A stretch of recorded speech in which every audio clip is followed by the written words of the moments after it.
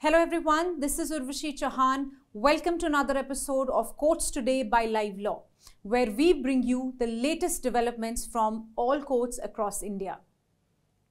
Starting with an update from the Constitution Bench of the Supreme Court, which today held as illegal the process followed by Kerala High Court in fixing a cut-off mark on the basis of viva voce for the selection of district judges in March 2017. The bench comprising CJI Chandrachud, Justice P.S. Narasimha, Justice Hrishikesh Roy, Justice Pankaj Mittal and Justice Manoj Mishra was hearing a batch of petitions filed by 11 candidates aspiring to be selected as district judges in the state of Kerala in pursuance of a 2015 notification. A reference was made to the bench on the issue whether appointing authorities can change the norms of selection during the middle of the process or after the process has been completed, as there was conflicting judgments on the point. The court noted that cutoff was fixed by the High Court after the conduct of the viva voce, which was manifestly arbitrary. However, the court refrained from invalidating the selection of candidates in view of the fact that six years had passed since their appointment, during which the appointed candidates had performed judicial functions. But at the same time, in a relief to the petitioners, the court clarified that their failure to get selected will not be treated as a reflection on their merit and that it will not come in their way in future selections. In another update from the Constitution bench, today the hearing of a reference which raises the issue whether a person who is ineligible to be appointed as an arbitrator can appoint an arbitrator or not was deferred for two months. Let me tell you here, a 16-member expert committee has been constituted by the Ministry of Law and Justice in June this year to examine the working of arbitration law in India and recommend reforms in the Arbitration and Conciliation Act of 1996. The step was taken to limit the requirement for parties to seek judicial intervention by approaching courts as the issues which have been raised before the Constitution bench will also come within the remit of the committee. Thus, the court considered it fit to defer the matter till the committee gives its report. Stay tuned. In another update, the Supreme Court today adjourned the hearing in the bail plea of former JNU scholar and activist Umar Khalid, who, as you know, has been arrested under the Unlawful Activities Prevention Act for his alleged involvement in the larger conspiracy surrounding the communal violence that broke out in February 2020 in the Indian capital. Khalid has been behind bars since September 2020, awaiting his trial. A bench comprising Justices A.S. Bopanna and M.M. Sundresh was considering Khalid's plea challenging the decision of the Delhi High Court, which denied him bail last year. During the brief hearing today, the counsel for the Delhi police sought more time to file a counter affidavit. Accordingly, the bench agreed to adjourn the bail hearing till Monday, that is 24th of July. Next is an update on a service matter. The Supreme Court has held that act of regularizing the services of only some employees and not of other entitled employees is discriminatory and violative of Article 14 of the Constitution.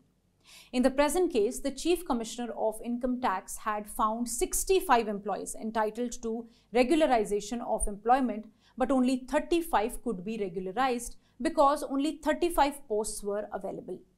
The employees filed contempt petition alleging that the departments by not regularizing their services had thereby committed contempt of court. But the petition was dismissed by the High Court. Thus, the appellants filed an appeal before the Supreme Court. The Supreme Court bench comprising Justice B.R. Gavai and Justice J.B. Pardiwala has directed the Income Tax Department to regularize the services of the remaining entitled employees from the date on which the services of other 35 employees were regularized and to pay the back wages and other consequential benefits within a period of six months. To read the full story, you can visit our website at livelaw.in. And now an update on a case relating to land scam. Land scams are common in India. Not only do they cause financial losses to individuals and investors, but also disrupt development projects erode public trust and hinder socio-economic progress. The Supreme Court has directed the Commissioner of Police Gurugram to constitute a special investigation team to investigate a land scam that involves officials at the Office of Land Registering Authorities and other accused persons allegedly deceiving an elderly NRI couple. The Apex Court categorically stated that the Commissioner of Police is personally responsible for monitoring the day to day investigation. The SIT will be headed by an officer not below the rank of DSP and will have two inspectors as its members. While expanding the scope of the inquiry, the bench comprising Justice Surya Kant and Justice C.T. Ravi Kumar granted liberty to the SIT to subject the accused persons as well as the officers at the sub-registrar's office to investigation and complete it within two months' time. The apex court was of the view that in the present case, if there is any involvement of the land mafia, the same should be come to forefront through an unimpaired investigation. The Supreme Court has invoked Article 142 of the Constitution to direct RBI to extend the benefit of reservation in promotion to an employee with disability who was denied the same for a long time. The challenge in the petition relates to securing promotion to the post of Assistant Manager in the RBI under Persons with Disabilities Act of 1995. So in 2003, the employee had appeared in the All India Merit Test to secure promotion to a Class 1 post. But he fell short of the qualifying marks by 3 marks. He made representations seeking condonation of the shortfall marks, which were not considered. The Supreme Court bench comprising Justice S. Ravindra Bhat and Justice Dipankar Datta has granted notional promotion to him to the post of Assistant Manager Grade A from the date of presentation of his writ petition before the Bombay High Court that is in September 2006. The bench granted two months' time to complete the process and four months' time to compute and release the monetary benefits accruing to him. The National Investigation Agency Court, Kochi, has found six of the 11 accused persons guilty in the sensational Professor T.J. Joseph hand chopping case of 2010. Justice Anil Bhaskar pronounced the verdict in the second phase of the trial today. The background is a question in an exam set by Professor Joseph, the former head of Malayalam department of Newman College, contained a passage that was alleged to have insulted Prophet Muhammad.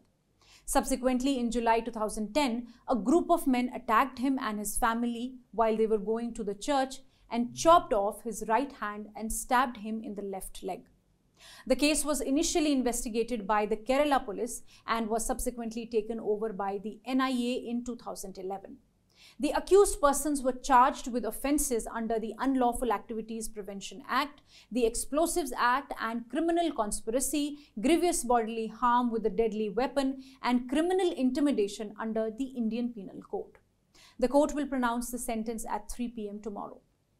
Significantly observing that pets fulfill emotional deficit occurred due to broken relationships, a magistrate court in Mumbai has awarded interim maintenance to a 55-year-old woman for her three Rottweiler dogs in a domestic violence case.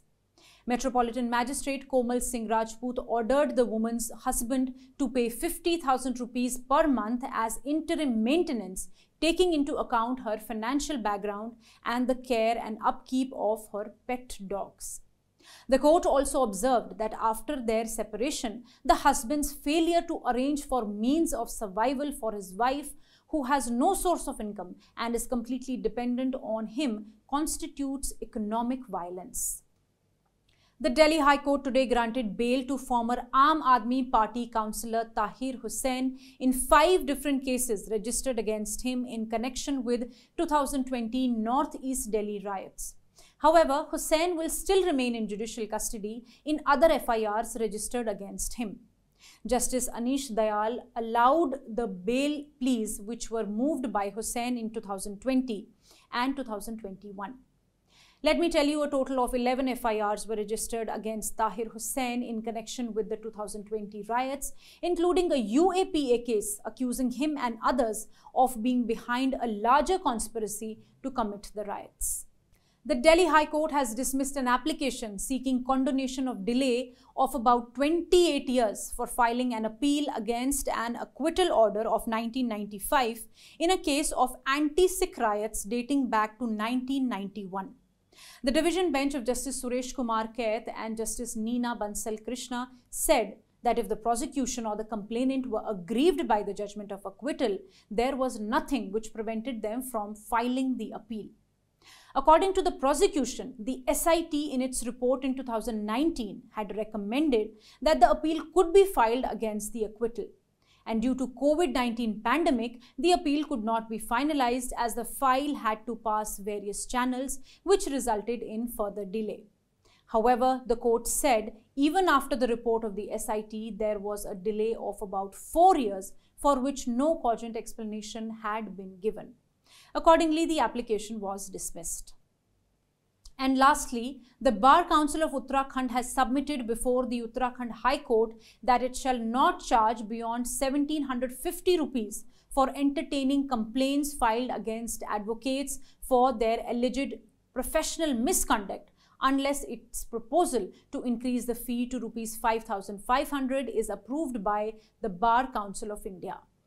The undertaking was given before the bench of Chief Justice Vipin Sanghi and Justice Rakesh Thapliyal, which is presently hearing a petition challenging the hike in the fee charges for filing disciplinary cases before the State Bar Council against erring advocates.